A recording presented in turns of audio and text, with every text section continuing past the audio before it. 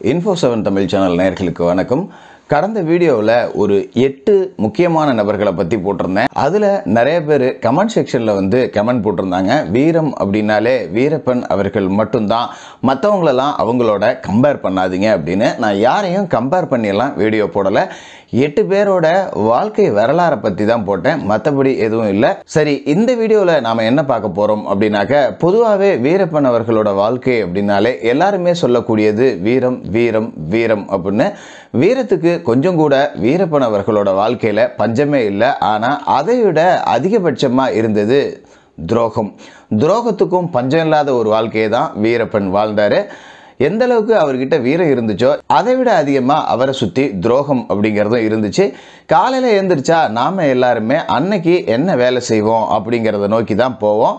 அப்படி இல்லை அப்படின்னாக்கா அன்றாட வேலைகள் எதுவும் இல்லைன்னா ஓய்வெடுப்போம். ஆனால் வீரப்பன் அவர்களோட வாழ்க்கையை பொறுத்த வரைக்கும் காலையில் எழுந்திரிச்சா எந்த பகுதியிலேருந்து அதிரடிப்படை வரும் எந்த பகுதியிலேருந்து ஆட்காட்டிகள் வருவாங்க எந்த திசையிலேருந்து துப்பாக்கி தோட்டா தன்னை நோக்கி வரும் அப்படின்னு தெரியாமல் ஒவ்வொரு நொடியும் உயிருக்கு அஞ்சுக்கிட்டே தான் ஒரு வாழ்க்கையை வாழ்ந்துக்கிட்டு இருந்தார்.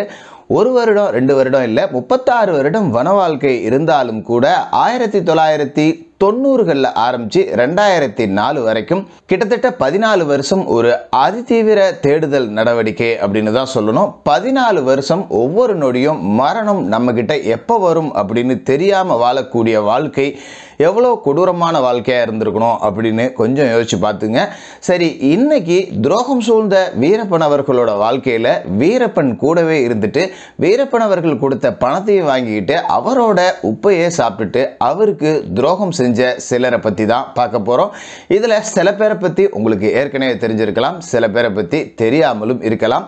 அப்படிப்பட்ட அந்த துரோகிகள் யார் அப்படிங்கிறது தான் இந்த வீடியோவில் பார்க்க போகிறோம் இதனால் வரைக்கும் நம்மளோட இன்ஃபோ செவன் தமிழ் சேனலுக்கு சப்ஸ்கிரைப் பண்ணாமல் பார்த்துக்கிட்டு இருக்கிற நண்பர்கள் மறக்காமல் சப்ஸ்கிரைப் பண்ணி ஆதரவு கொடுங்க.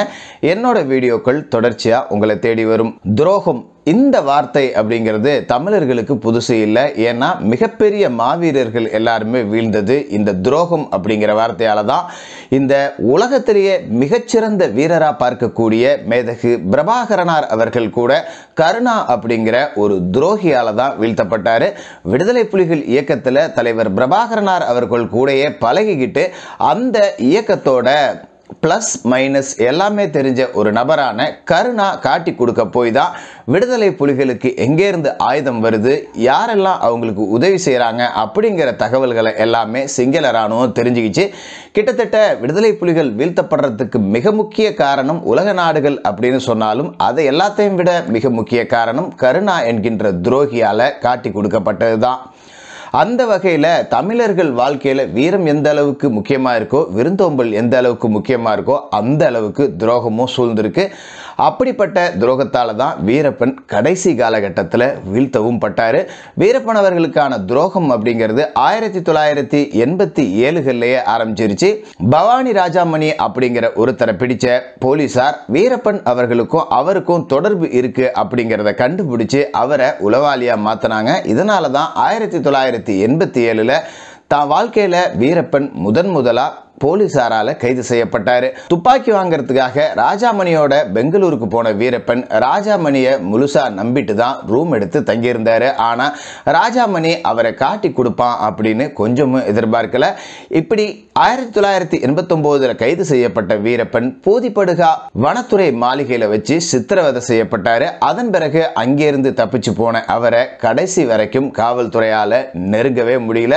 இப்படி வீரப்பன் அவர்களோட வாழ்க்கையில மிகப்பெரிய பெரிய துரோகியாவும் முதல் துரோகியாவும் இருந்தது பவானி ராஜாமணி தான்.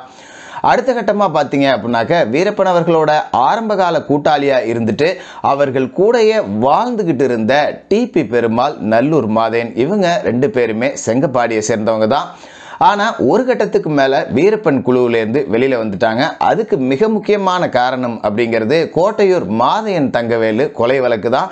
ஏன் அப்படின்னா இவங்க ரெண்டு பேரும் வீரப்பன் அவர்களுக்கும் உறவுக்காரர்கள். ஆனால் அதை விட மாதையன் தங்கவேலுக்கு நெருங்கிய உறவுக்காரர்களாக இருந்தாங்க. அவங்கள வீரப்பன் கொலை செஞ்ச பிறகு இவங்க பிரிஞ்சு வந்துட்டாங்க. ஆனால் இவங்க பெரிய அளவில் வீரப்பனை காட்டி கொடுக்கலாம் எந்த நடவடிக்கையும் எடுக்கல. ஏன் அப்படின்னா வீரப்பனை காட்டி கொடுக்க முயற்சி செஞ்சால் அவங்களோட உயிர் போயிடும் அப்படிங்கிறது அவங்களுக்கு நல்லாவே தெரியும். அதனால் டிஎஃப்ஓ சீனிவாசன் பேச்சை கேட்டுக்கிட்டு ஊருக்குள்ளேயே அடக்க உடக்கமாக இருந்துட்டாங்க. டிஎஃப்ஓ சீனிவாசன் மரணத்தின் போது டிஎஃப்ஓ காட்டுக்குள்ளே சமாதானத்துக்காக போகும்போது இவங்களையும் தான் அழைச்சிட்டு போனார். ஆனால் துரதிருஷ்டவசமாக டிபி பெருமாளை கொலை செய்யறதுக்கும் வீரப்பன் முயற்சி செஞ்சார். அதுலேருந்து அவர் தப்பிச்சிட்டாரு. அதன் பிறகு பார்த்தீங்கன்னா ஆயிரத்தி தொள்ளாயிரத்தி தொண்ணூற்றி ஏழில் வீரப்பன் அவர்களோட மிக முக்கிய கூட்டாளியாகவும் முக்கியமான ஒரு தளபதியாகவும் இருந்தவர் பேபி வீரப்பன். பேபி வீரப்பனை பற்றி எல்லாருக்குமே பெரிய அளவில் தெரியும் அப்படின்னாலும் பேபி வீரப்பன் கொலைக்கு காரணமானதும் வீரப்பனோட சோத்தையே சாப்பிட்டுட்டு வீரப்பனுக்கே துரோகம் செஞ்ச ஈரட்டியை சேர்ந்த கந்தவேலு அப்படிங்கிற நபர் தான் இந்த கந்தவேலு பல காலகட்டமாக வீரப்பன் அவர்களோட தொடர்பில் இருந்தவர். வீரப்பன் அவர்களுக்கு அரிசி பத்தியம் வாங்கி கொடுத்துக்கிட்டு இருந்தவர். ஈரட்டி பகுதியில் ஒரு சின்ன டீ கடை ஹோட்டல் கடையும் வச்சு நடத்திக்கிட்டு இருந்தார்.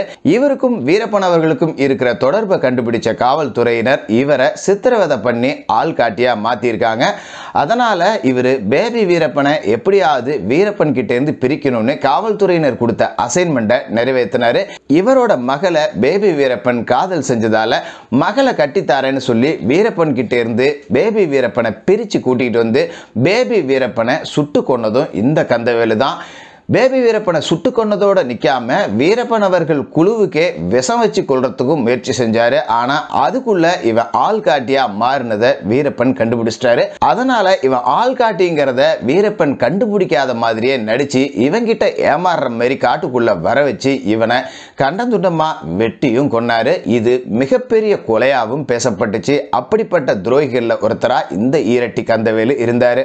அதன் பிறகு பாத்தீங்க அப்படின்னாக்க நிறைய ஆயுத குழுக்கள் காட்டு காட்டுக்குள்ளே போச்சு. இத்தனை ஆயுத குழுக்களையும் வீரப்பன் மனசார நம்பினார். ஆனா எல்லாருமே காட்டுக்குள்ளே இருக்கிறேன். நாங்கள் இங்கே தான் இருப்போம். தமிழ் தேசிய அரசியலை வளர்த்தெடுப்போம் அப்படின்லாம் வீரப்பன் அவர்களை தமிழ் தேசிய சிந்தனைக்கு திருப்பிடுது இவங்க தான் ஆனால் யாராலையும் இவங்களால காட்டுக்குள்ளே தங்கி இருக்க முடியல.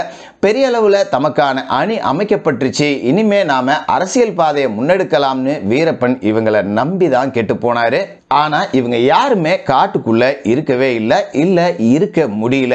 இவங்களும் கூட வீரப்பன் அவர்களுக்கு நம்பிக்கை துரோகம் செஞ்சவர் தான் இதுல சில பேர் வீரப்பன் அவர்கள் மேல உண்மையிலேயே ஈடுபாட்டோட இருந்தாலும் தமிழ் தேசிய கருத்துக்கள்ல ஆழமான சிந்தனை உள்ளவர்களா இருந்தாலும் கூட சில பேர் காசுக்காக தான் காட்டுக்குள்ள போனாங்க அப்படின்னு சொல்லப்படுது.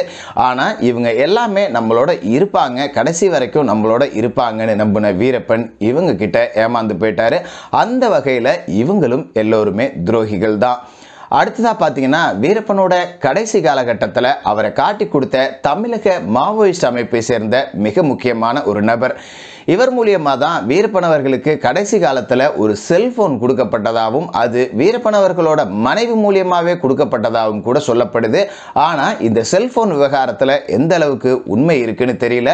கடைசி காலகட்டத்தில் இந்த மாவோயிஸ்ட் அமைப்பை சேர்ந்தவர் தான் ஆயுதங்கள் கொடுத்து அனுப்புகிறேன் ஆட்களை மறுபடியும் கூட்டிகிட்டு வரேன்னு சொல்லி வீரப்பன் அவர்களை நம்ப வச்சிருக்காரு. வீரப்பனும் இவரை முழுசா நம்பியிருக்காரு இவர் மூலியமா காட்டுக்குள்ள போன காவல்துறையை சேர்ந்த ஒருத்தர் தான் கையெறி குண்டுகளை வெடிக்க வச்சு வீரப்பன் அவர்களோட குழுவையே மயக்கம் அடைய வச்சு கைது செஞ்சாங்க.